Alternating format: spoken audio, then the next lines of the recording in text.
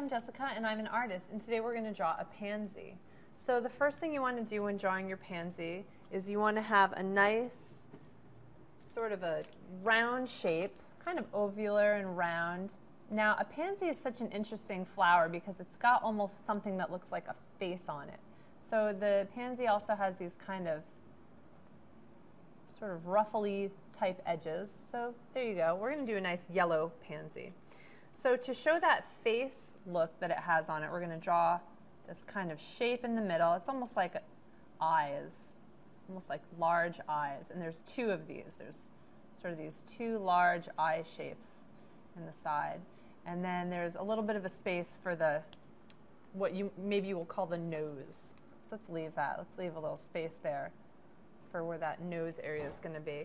And then it's got this additional large part on the bottom that also has almost like a face quality to it, like maybe a mouth or what have you. And we're going to fill that in.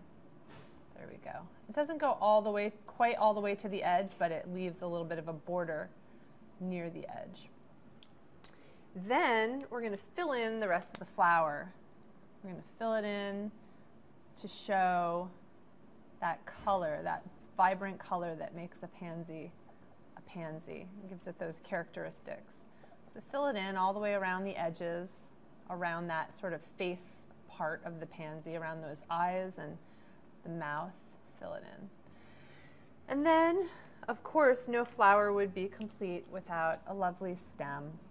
So we're going to put a little stem on there and some nice big flowered uh, leaves on the stem.